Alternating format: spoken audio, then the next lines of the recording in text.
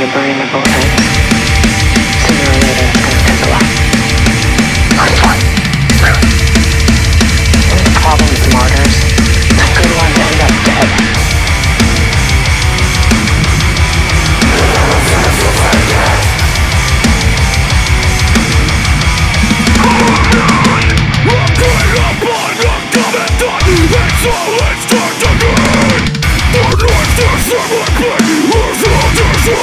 Turn